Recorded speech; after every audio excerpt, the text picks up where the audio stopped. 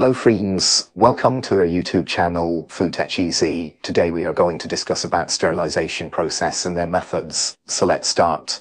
First of all, what is sterilization? Sterilization can be defined as any process that effectively kill or eliminate fungi, bacteria, virus from a surface, equipment, food or biological culture medium. Sterilization is made up by using a word sterile, which mean free from any living organism. Microorganisms are present at everywhere. Since they cause contamination, infection and decay, it becomes necessary to remove or destroy these from material or from area to prevent hazard.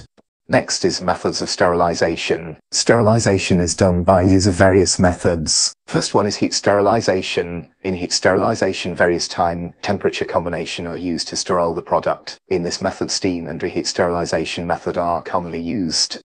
Second method is radiation sterilization. Radiation is a non-thermal sterilization method that destroys microorganisms in a product with use of gamma radiation, beta particle or ultraviolet light.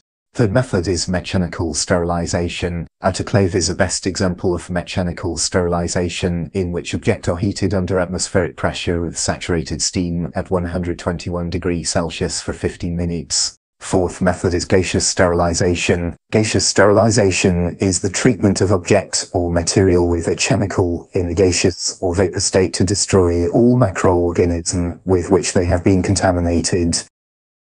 Last method is filtration sterilization. This method is the most popular method to sterilize heat-sensitive liquid and gases without exposure to denaturing temperature. The gas or liquid is filtered through, which is pores that are too small to low-passing microorganisms. Thanks for watching the video. Please subscribe our YouTube channel and hit the bell icon. Thank you.